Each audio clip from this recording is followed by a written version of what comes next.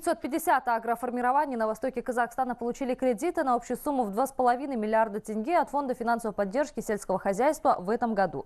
Но это не предел, считают в регионе. Поэтому в Усть-Каменогорске провели специальный семинар для акимов сельских округов, чтобы обучить их всем тонкостям получения льготных займов. Теперь их задача максимально донести информацию фермерам.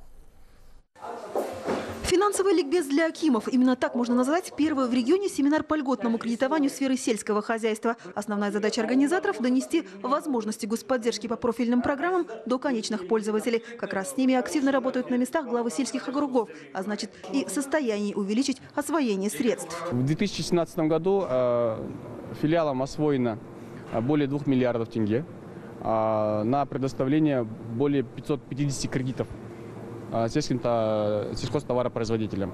В э, будущем году э, планируется освоение более 3 миллиардов тенге.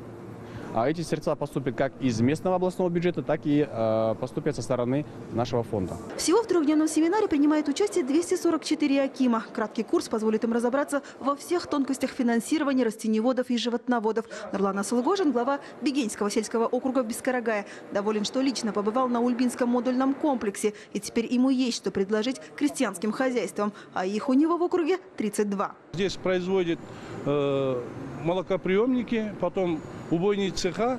Ну, это здесь очень выгодные цены. Почему? Потому что э, фонд финансовой поддержки э, сразу оплачивает 50%, субсидирует В целом, с января по декабрь в сельского хозяйства области инвестировано 30 миллиардов тенге. Это на 600 миллионов больше, чем годом ранее. В итоге и объем валовой продукции увеличен уже на 11%. Анна Лисенбердина, Аслан Тулебов, Восточно-Казахстанская область, Хабар 24.